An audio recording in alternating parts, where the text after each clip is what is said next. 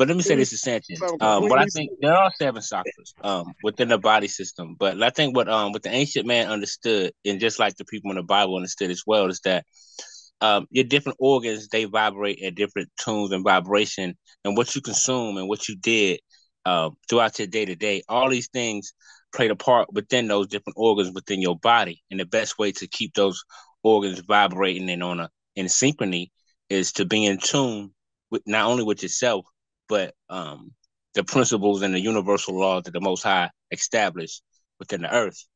And so when we speak on seven chakras, it's just like as above, so below. Um, just because the Most High said He sitteth above the circumference, it's not the circle of the earth; it's the circumference of the earth, meaning the whole earth. He's not saying He's just sitting right on top of the earth. You know what I mean? Looking right at it. No, there are seven heavens uh, above the earth. Um, one we would call what the birds fly in the firmament, and then space, and then so as and further up the net according to the scriptures. Yeah, so those, I just those, put that down. Those seven heavens are the seven seals that got to be broken in order for God to arrive on earth. Let's pass it back to the Hebrew brother. This ain't a debate. Yeah. This is just a exchange of information, man. Right.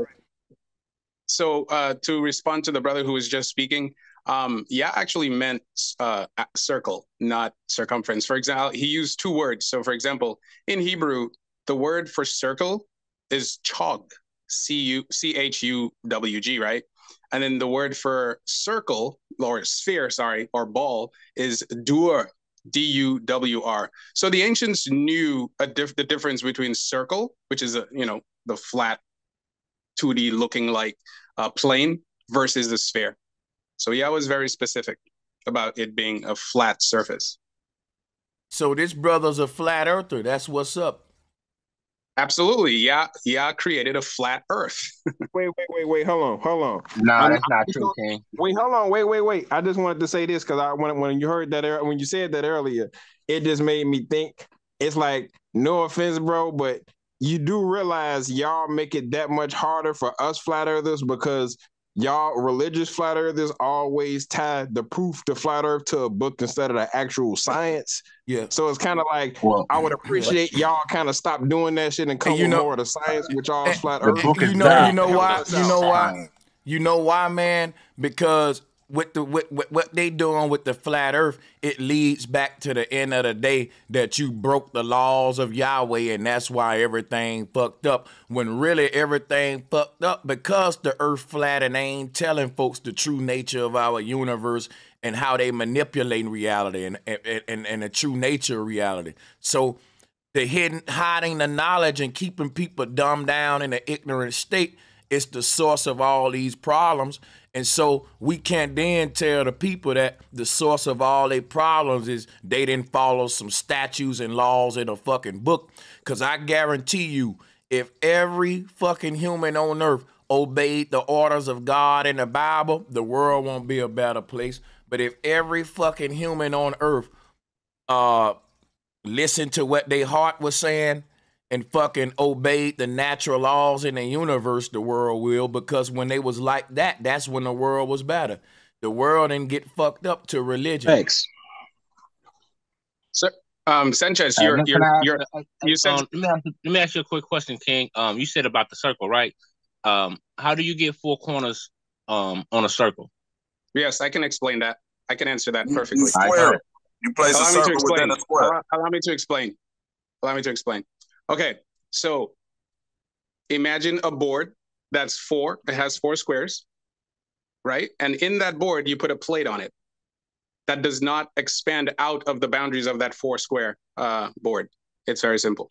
Okay. Well, I think the difference. well, what, let me say this. I was gonna say this real quick, Sanchez. Um, well, see, when you're dealing with the four corners, that's not four corners, brother. Uh, it's dealing with hey, four man, man, corners, man, watch this, man. Top, bottom, front, and back. Uh, uh, hey, check this out, yo. How do you get four corners in a circle? There you go, Madon. That fucking. There you circle. go. Yep, Let's go, exactly. man. Let's go, bro. Let's get it, yep. bro. beautiful, beautiful. This shit is That's easy, beautiful. bro. Like you, like this. Who you think you talking to, man? Let's go. What's your next one, bro? that was beautiful. Well, when we dealing with, really good. When we're dealing with the circumference of the Earth, and we're dealing with the my uh, brother, corners, my um, brother. Let's go to I'm the next to... question. I just answered the four corners in a circle. You're gonna take this answer. The... You asked me to produce some, and I did it, man. Like, let's go to the next one now. This is what's happening at the North Pole. You have four all these pots like the edges of each corner pointed inward. It's a very simple question. Cut an orange open. The energy flowing inward. I would just try to show the brother that's dealing with cardinal points, but uh, somebody, y'all go ahead. That's what we dealing with, brother. You can't have four corners on a damn basketball, son. I can show you four corners in a circle.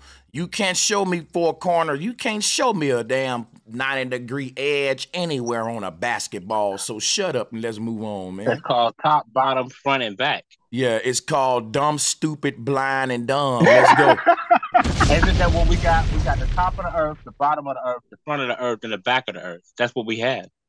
Okay, man. I'm finna get your ass now. You gonna learn to lay good enough, well enough alone. Now watch this. Give me them directions again. We need to identify with the model up. Let's go. Yeah, it's called uh, top, bottom, front. Okay, now back. wait a minute. When you talk about top, my brother, are we talking about where my mouse is at right here? That's correct. And when All you talk, the whole now look, now, now yeah. look. So these people at the top and these people at the bottom, right? Right. These people is up. These people is down. Right. That's the bottom. Yep. Okay. Now, wa- now, now watch this. Now, now watch what I just did. Everybody watch this classic dagger. According to the laws of gravity, the energy is pulling downward toward the ground. You just established down as everything below the equator and up as everything above the equator when down and up on a globe should be in and out my nigga because all of the energy pulling in toward the core on all directions and expanding outward the same way see how i killed you man let me show you how what you what you just did if all see down on a globe ain't below the equator, Madon. Down on a globe is a fall inward Inside. toward the core. Damn, dude. But damn. Well, I never used the word. I never used the no, word down. I said brother. Bottom. No, brother. no. Hey, guess what? Let's let let let let let let, let let's let's use the word bottom then. When you refer to the bottom of a globe, which you still gonna maintain that this is the bottom right here? Let only Madon talk. Come on, Madon. Yeah, that bottom portion. Okay. Um, how much percentage okay, of that okay. bottom? No, no, wait, know, a minute, wait a minute. Wait a minute. Wait, bro. You don't don't give me a lot of access. I hate when y'all do that because I want to hurry up and get through talking, and you can make this simple. So you know what I mean here, brother. Be simple. You saying this is the damn bottom. But y'all also saying that they also saying the ground represents the bottom. It's not the ground at the bottom of my feet. See, let me let me show let, let me show you what, what's going on. The land so, you on, yeah. Watch this, man. Let me show you what's going on.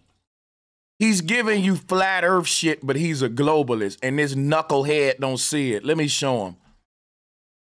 See, on a flat earth and a flat earth sphere, the bottom is the great deep, and the top is the waters above. On a globe, you can't have a bottom and top like that. Your bottom got to be toward. If I say, man, we going into the bottom of the earth, the bottom, the bo- the the bowels of it. The what? See, top would be sky, bottom would be ground. That would be in and out, which is what they call outer space. But what is inner space? See what I'm saying? That's when you enter the Earth atmosphere. Where is the edge of outer and inner Whoa. space? Now check this out, bro, because I ain't done yet. You just need to listen, brother. On a globe, you can't have the bottom and top the way you just described, bro, and still maintain that things fall toward the center of a core. That would represent your bottom point. The top would represent the sky above you and the bottom the ground. But on a globe model, you would not explain it the way you just did. You would everybody on a call ain't wrong and just you right, brother. We showing you how your model go, man. Everything falls inward. The way you're explaining is that everything fall down below the equator and rise up above it. But that's the way flat earth work. Everything that's heavy below this line, it falls into the ground, into the great deep. And everything that's uh, light above it becomes a gaseous stuff in the atmosphere, all the layers of the atmosphere. That's our model. We can clearly say, hey, at this equator line on a flat earth, this is the bottom, represents the bottom, and then this is the top. On Only if I was a globalist, I wouldn't do that. Let me explain you how it, it, ain't right? no how, how, I, see, it, it, but look, it ain't how I see it, you see it or nothing. It's you learning your model if you want to debate it. That's all. Go ahead, man. You can't make up your um, own shit. Yeah, I got, I got, I got, I know my model to the T. But check it out, right? All right. When I say the top, right, I'm talking about what we consider is uh Alaska and things like that. The south, the bottom would be Antarctica and stuff like that. The front of the Earth would be where you see where Central Africa is at, and the back is where where they say um, the Earth is more percentage of water when we look at the globe model. Everything I'm saying is according to the globe model, you know, and that's what I'm saying. Alaska's at the top, Antarctica, Antarctica's at the bottom. Um, but the face of the percentage of the face of the Earth is in the front, and um, I forgot how much percentage of the back of the Earth, which is the back, is is pretty much all water. Don't take no offense to this, Madon, but the whole while you was talking, I was making a sandwich, man. I'm about to finish making. I don't want to hear what you. Only thing you should have said was peace. Appreciate that, God. I'm gonna put that in my arsenal. All that hogwash you just said was neither here nor there, dog. I gave you some jewels. Just take the shit, bro. Damn. Go ahead, y'all. If you go to NASA's website, um, they have a, a model that they use to calculate flight path.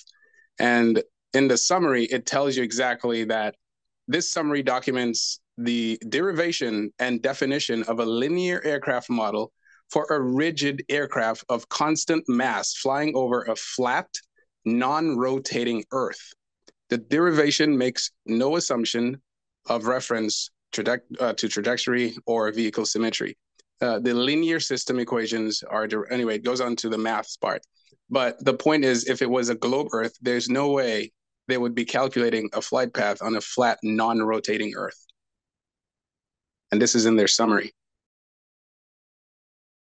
So check this out, right? When you look at this model right here, this what our Earth is. This the shit I was fascinated with. What I was saying, look, this is what we need to be building about, man.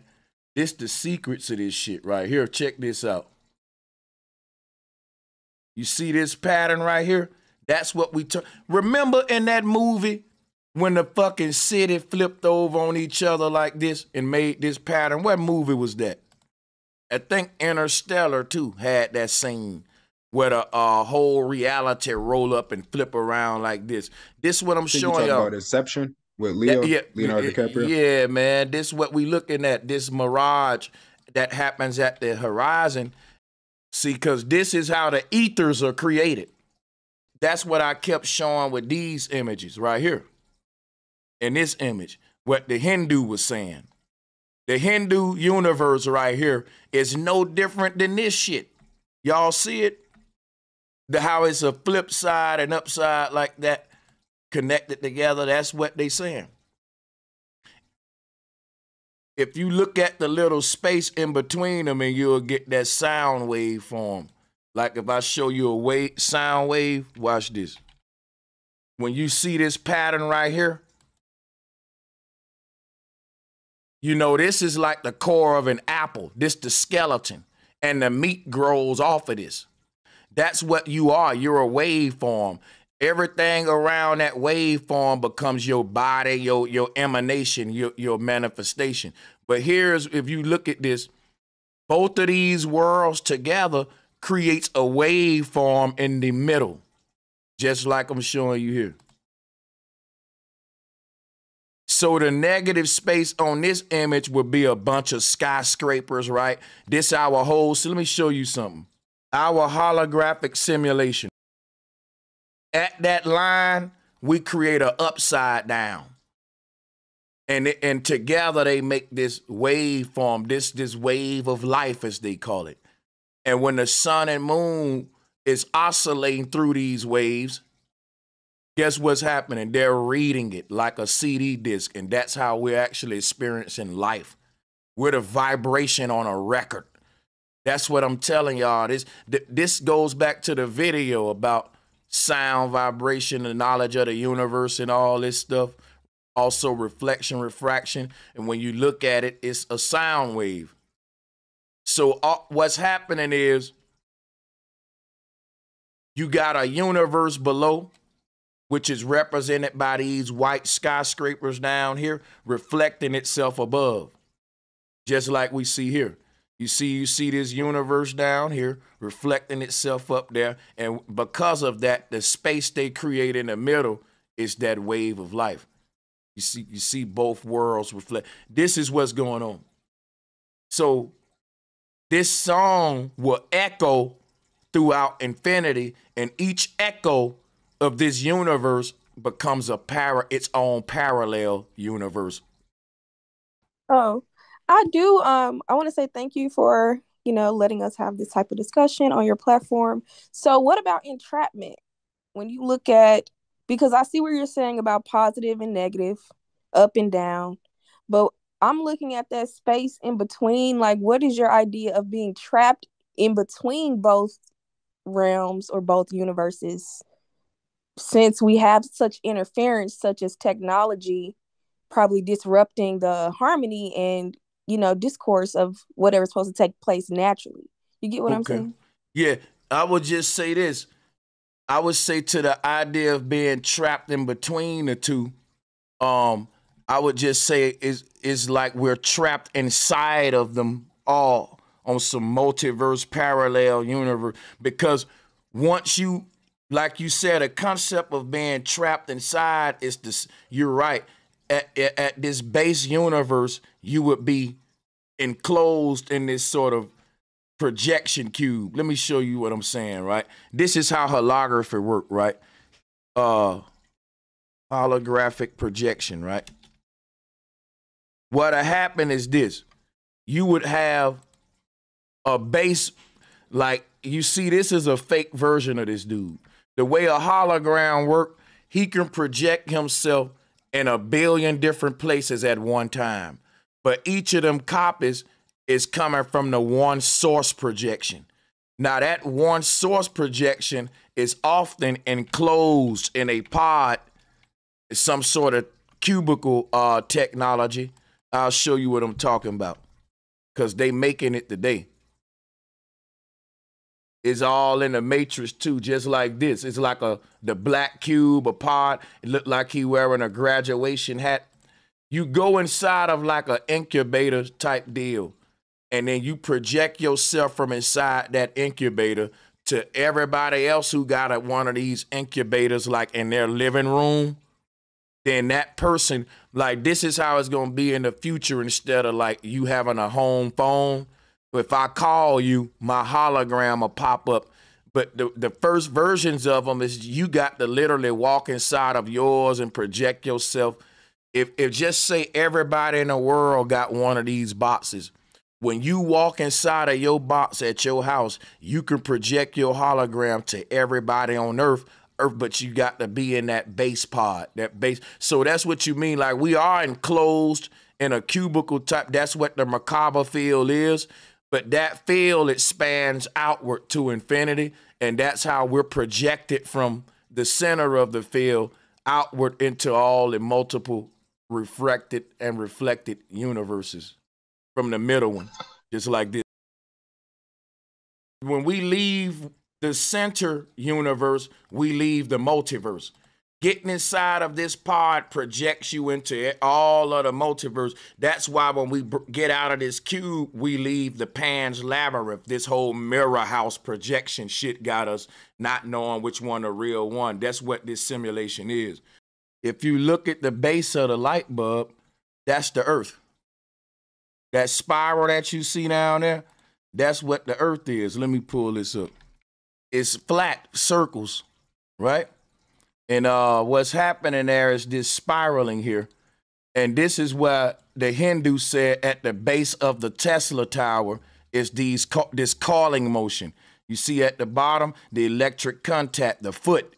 That's why they said the earth is God's footstool. Now, uh, around this around this little spiral right here, our firmament dome starts to form. That's what this glass is, the firmament dome above our flat Earth circles. In the middle of it is the Great Mother holding it all up, or the God shoe, what you call in the gla- the glass support, the contact wire to the base. Let's pull that up real quick. Yeah, this was to answer yeah. the person's so, question who was asking about how fire could be in a bubble. This would be an example. So, thank you for the uh, presentation. Oh yeah, I thank you for the the uh, intelligent questions. Um, yeah, this this is dope that you made that connection because like the earth is like the home base ground zero down here. But the even oh, matter of fact, this make me think of something. The Hindu Naga, Hindu Nagini, showing you this same thing too. See, he his highest point is is the Naga, and then it start to fade at the base. He's a pyramid, and he's a the highest point of this pyramid is his head then it start going down here from there. He's basically making he's it, this is what's going on. When you see his legs wrapped around, see if you think about this, right? Our uh his legs wrapped around like that represent this whole chakra layering system. Let me show you something real quick, and I'm gonna pass the mic. We're basically a walking light bulb. Let me show you this. See, because this this whole layering pattern or calling up you see right here how we got this the, all of these little chakra layers these these other layers around us that's what i'm saying about these uh the copper cores let's go down there if you look at this this what's going on remember the god beelzebub they got the word bulb right in his name now look at the base of there and then you will see your pineal gland is where the light is shining at in the middle of your brain. That would be this this fire in the middle of the light bulb. You see it? And when you cut this light on, there's a fire in the middle of this that's that's gonna make these wires turn red right here. That fire in the middle of the bulb. Let me show you what that is. Right here. That in between your left and right brain, this is what's going on. That that's the that's the pineal gland, and your brain is this one big bulb split by the glass support, the contact wire to the base, which is what the the body. This whole brain and all that screwed into the fucking body is its own bulb, which is why we even got this uh image right here. When your subconscious mind is filled with um a bunch of negativity and um a host of other um different vibrations and uh different um thoughts um your your conscious mind is um is kind of diluted and it, it gives itself a false reality um seeming that it's real because i think a lot of people dealt with fear uh, through the ages and that's why they cause war bloodshed because they wanted to keep those top in those high positions. So I think uh, the subconscious mind um, is the same as the as above, so below. If your subconscious mind perceiving wicked, evil thoughts, your conscious mind is going to um, act on them, and vice versa. You know, we say stuff. We say we're screwed, right? Let me show you something. Like when you when somebody be like, "We're fucked, we're screwed." Coming to this earth, right? is like think of this light bulb like a fucking um, hot air balloon, right? Think of that light bulb like like a hot air balloon, and you're fucked because you got you got anchored to the earth. You got screwed. You got screwed into the inferno, and now each incarnation is screwing you out. Is so that the light bulb is rising out of the socket every time when every degree we unscrew it is getting closer to loosening itself. That loosening is what we call in liberation escaping from the matrix. When the light bulb fully unscrew itself the wires that was wrapping it into this world becomes the tail that it drags along as a new sperm cell to go screw into another whole paradigm. This light bulb becomes that sperm cell with the tail once it uncores, untethers itself from this. You see what's going on here? That's like using this concept to explain incarnation death of a light bulb is a good idea. Uh, an old school term for sex was also screwing, also bringing the life into this world. So that's a great connection. Yep, and then also the um symbol that I was trying to show you is it looks like an arrow, like a cupid's arrow. It's like it's got um some lines at the top. How how many? It's got like two um lines going through it at the top, almost like the D'ussé liquor at the top. The little um two lines at the top, yeah. and at the bottom is um a heart. And so when you think about that too, it's almost like the the arrow is going into something. Like you feel me? Yeah, yeah. And the cycles of, in the circles of time. Um, that's what a lot um, of ancient dealt with. They understood the cycles put, of it's time. It's his merchant mark. It's the merchant mark. It, it it was on the window. It was on painted glass. That's what I was looking at. A book on painted glass. Those yep, little yep. at the end of the line, they also the little tails that you was talking about, Sanchez. You know how you uh-huh. talking about the uh the Pisces and if, if Jesus was a um was a fish, like those little uh things at the end.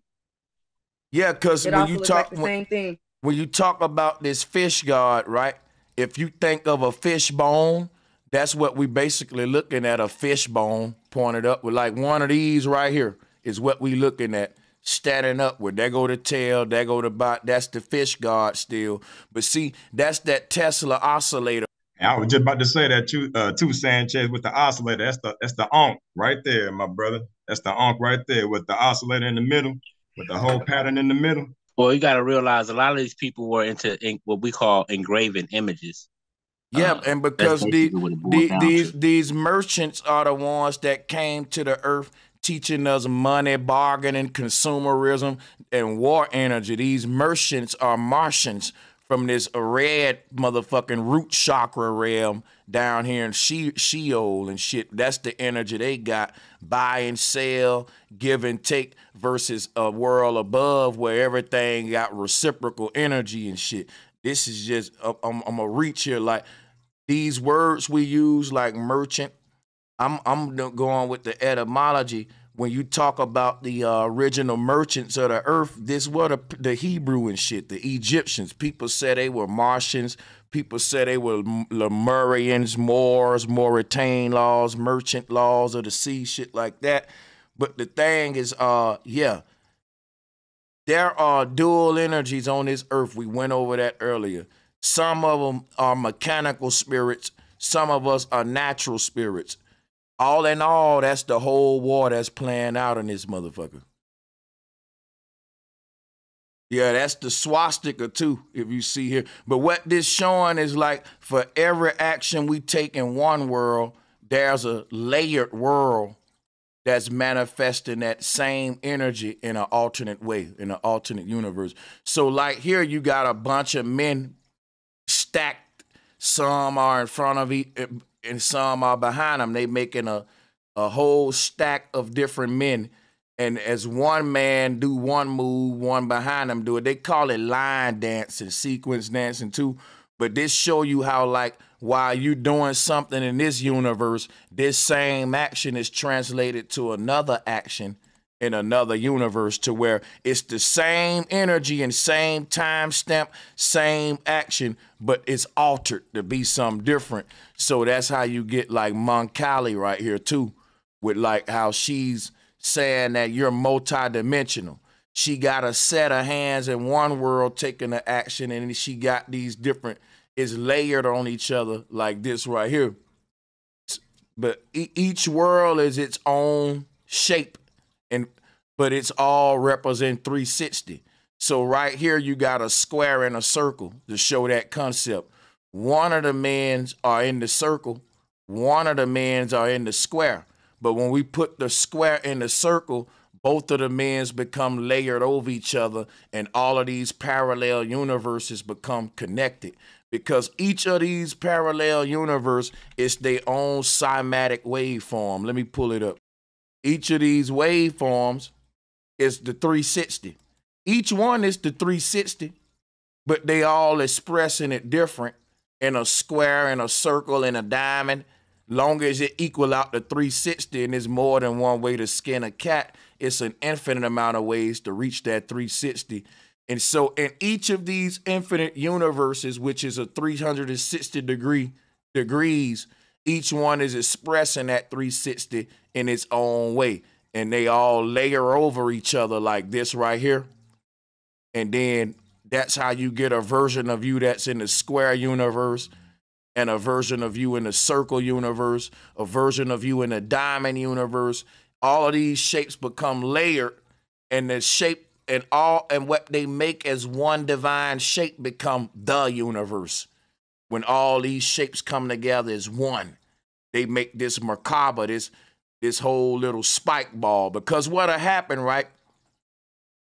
If you take every shape in the universe and layer it over each other, guess what you'll create?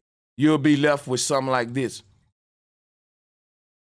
because you'll have coming from a singularity a bunch of shit. It'll be a hollow point in the middle, right? Think about what I'm saying. Because every shape got a hollow core. It'll be a hollow point in the middle, right? But at the edges, because every shape is is filling in all the angles around the edges, because if you think about it right here, you got a square and a circle, but that leaves some empty spot right here to be filled in. It's another shape that's going to fill that in. And then it's another shape going to fill. And before you know it, all around the edges just going to be spiky, the crown of thorns. All them shapes stacked together just to create an outside perimeter of like a spike ball. And that's the whole symbol of God or like Polaris, this star explosion or this whole Big Bang symbol, that spike ball. That's what I'm talking about. That's what it, it that's what it all looked like. This right here. When you zoom out of all this shit, this is what it's gonna be. The Big Bang. It's simple. If you see what I'm saying, in the middle of this is a empty chamber because all these shapes start from an empty chamber. And then they got the, the angles represented on the edges. So because of that, you will have this shape that's like the flower of life, to where all around that hollow, that hollow middle will be just spikes. That's what the flower of life showing you. All of the shapes in the universe stacked together on a central axis. And then what you will get, here's a good example here too. and you can keep filling this up. You can have a Vitruvian man back here with his hands going up here, and some going up here and up here. I want to get some Hebrews in the future that want to debate me about what Moses' teachings was, because Moses wasn't a Christian. And I and I want to show them the symbols of Moses to show what he was teaching about ascension right here.